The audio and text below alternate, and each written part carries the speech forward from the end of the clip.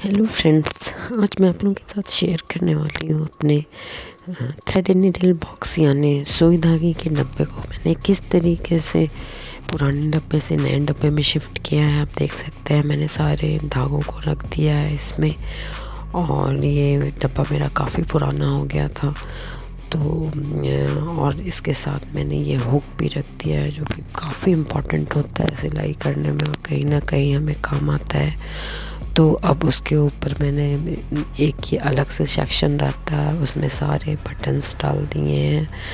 और ये बटन कहीं ना कहीं हमको बहुत काम आते हैं। कपड़े सिलने में बाई द वे उस कपड़े के बटन नहीं है तो मैचिंग बटन हम इससे लेके लगा सकते हैं।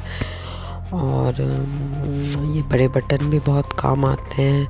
अगर कोई अच्छे कपड़े का एक्स्ट्रा रहता है तो भी हमें कटिंग करके रख लेना चाहिए और साथ में डाल दिया मैंने छोटा सा सीज़र यानी कैची और एक आग तो छोटे चाबी भी मैं कभी ना कभी रख लेती हूँ। और साथ में ये सुई का एक ऐसा डब्बा बहुत इम्पोर्टेंट होता है फ्रेंड्स और ये धागे को डालने के लिए बहुत ही काम आता है। छोटी सी चीज़ है, लेकिन बहुत इम्पोर्टेंट है सिलाई के लिए।